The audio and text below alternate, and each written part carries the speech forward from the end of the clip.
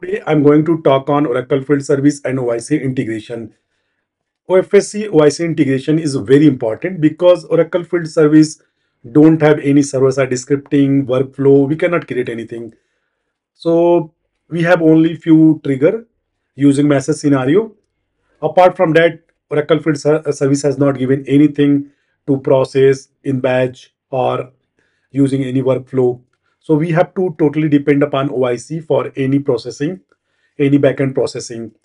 So we have to understand here how Oracle Field Service and OIC integration work. It is not based on REST API, it is based on event.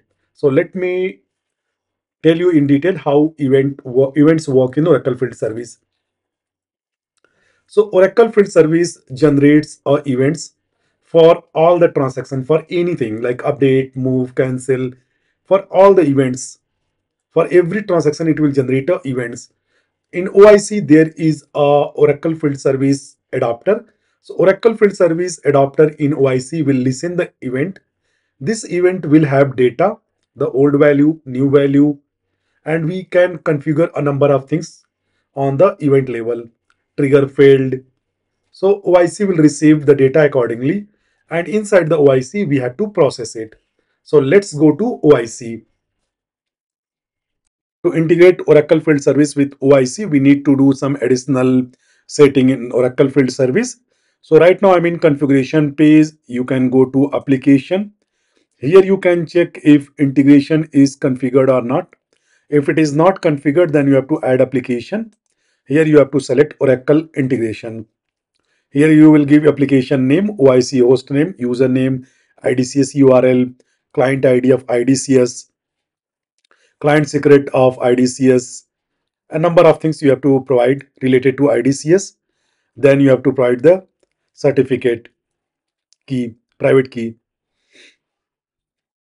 And then you can add then you would be able to integrate Oracle Field Service with OIC. OIC would be able to access your OF, OFSC. So now let's go to Oracle Integration Cloud. Right now I am in Oracle Integration Cloud dashboard. So here you can see home is given, project, design, B2B and all. So we'll go to project and I will create a new project. Create OFSC demo create so project is created. So here you can see OFSC demo project is created.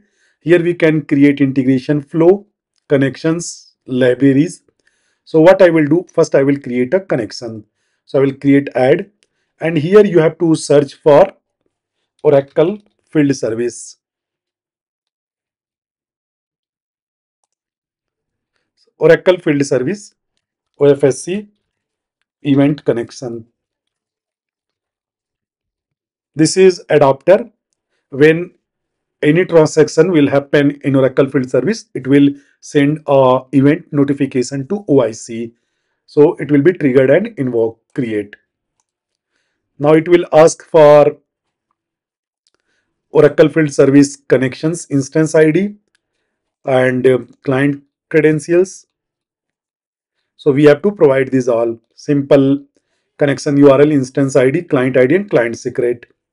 And then you can test here, save. So let me add it. Now I will test it.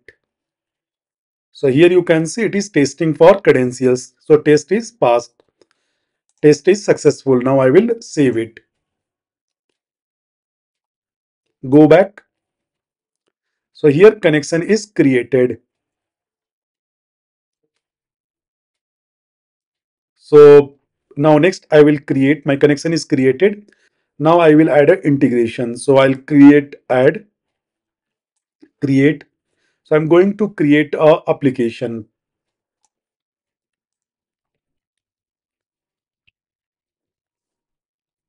Create.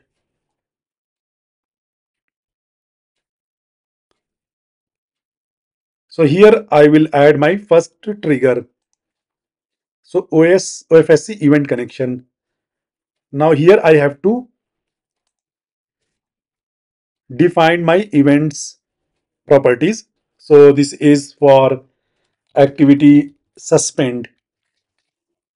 So when an activity will be suspended, it will invoke this action, this OIC action. So continue here activity. So when activity is suspended, so here I will select the suspended. So when activity is suspended, it will trigger this event. Now we can configure the required field because every event will have some data. So if you want to have few fields, then you can specify in configuration. So continue. Finish. So when a transaction will happen, it will receive a event and its data and we can process next. We can add our own workflow, whatever we want. Suppose we want to update. So in this scenario, when activity is suspended, I want to assign back that activity to the parent bucket. So what I have to do, I have to call another API to get the parent bucket name and then I will update the same activity with the parent bucket ID using set resource. So for that purpose, I need a REST API call. So here I have to go to connection and here I have to create a connection for REST API. So here you can see I have already created a integration action or flow. The connection is already created. This connection will receive event from Oracle Field Service. Now let's talk about the library. So in Oracle Integration Cloud, we can write our own library in JavaScript. It can have multiple JavaScript files. So we can write a complex logic uh, in JavaScript and we can call that methods. So let me add a JavaScript. So here I have uh, written a sample add function in JavaScript. So let me import this. This method takes two input parameters and one output parameters. But here you you have to write the JavaScript in a very you know normal way. You cannot write very hi-fi JavaScript because otherwise it uh, OIC would not be able to detect it. So if you if you want to edit uh, online, then you click this button edit, and here you can see function add param1, param2. First you have to define the response return, and you have to return. So always take care that you have a variable return and you are returning that variable. In between you can do your manipulations.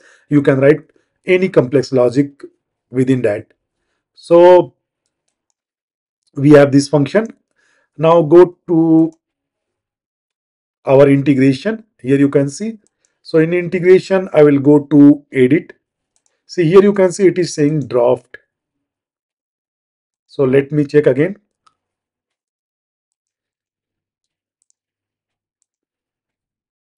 Save.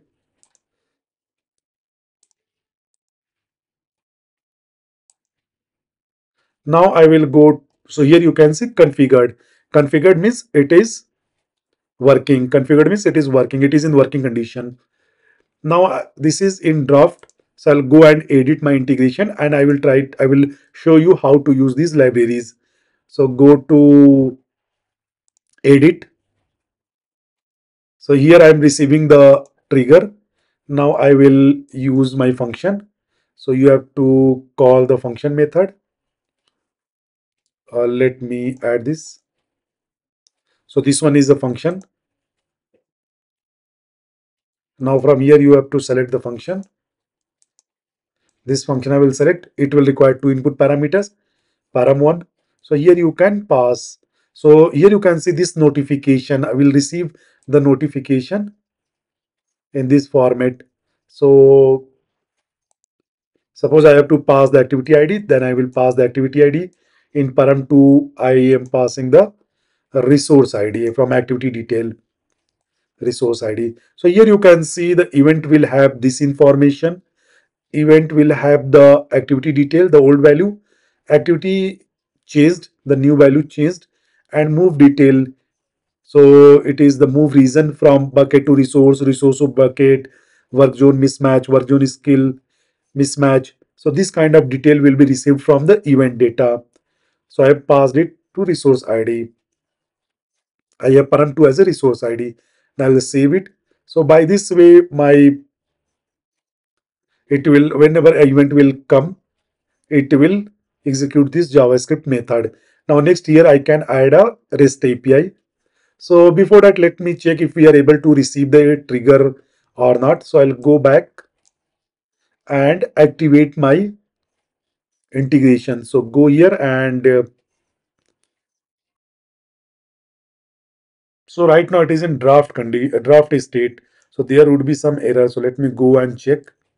So here you can see there is an error. So I have to fix this. So it is asking for identifier number. So I'll go and provide the activity ID. Activity ID will be identifier. Save. Now there is no error. I will go back. So here you can see it is configured. Now I will make it active. So activate. So we can activate production mode, audit mode. Right now I will have a debug mode, activate. So it is activating this OFSC integration action flow. So whenever a event will be received, it will trigger this. Now I'll, I'll now I have suspended an activity in Oracle field service. Now we'll check if it has been uh, if this integration has been triggered or not. So here you can see design, deploy and observe. So I will go to observe. So here you have to go to instances. So here you can see one instance is present. So you can check the log. So here you can see I icon, click this. So it is showing that one instance has been received of suspend activity.